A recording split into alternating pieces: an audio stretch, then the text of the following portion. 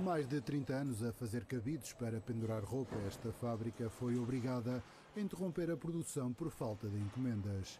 Sabendo da dificuldade que o país tem em produzir material de segurança contra a Covid-19, percebendo a facilidade que a Univerplast teria em conceber viseiras, a Câmara de Lousada lançou o desafio a Mafalda Monteiro, uma guerreira em tempo de crise.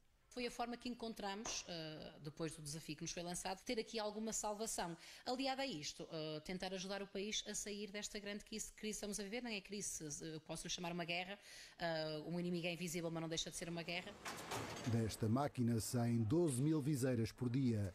São embaladas manualmente pelos funcionários da fábrica e enviadas para o mercado. Na próxima semana, a produção vai duplicar. Nós estávamos formatados para fazer os cabides e, de repente, uh, as viseiras é um processo muito mais manual, apesar do processo de injeção, uh, como vocês viram nas filmagens, ter que colocar todos aqueles artigos nas saquinhas e, e, e toda uma série de outras, de outras condicionantes, uh, não só para podermos conseguir cumprir com todas as nossas obrigações, mas também para ajudar o país. As viseiras não estão certificadas, mas foram validadas por profissionais de saúde e pelo Infarmed, que classificou a empresa como a que tem maior capacidade de resposta em Portugal.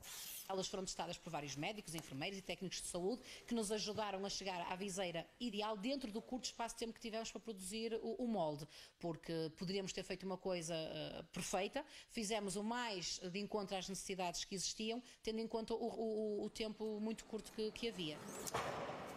Lousada foi dos primeiros conselhos atingidos pelo novo coronavírus e está agora a produzir equipamento para quem está na linha da frente no combate à pandemia.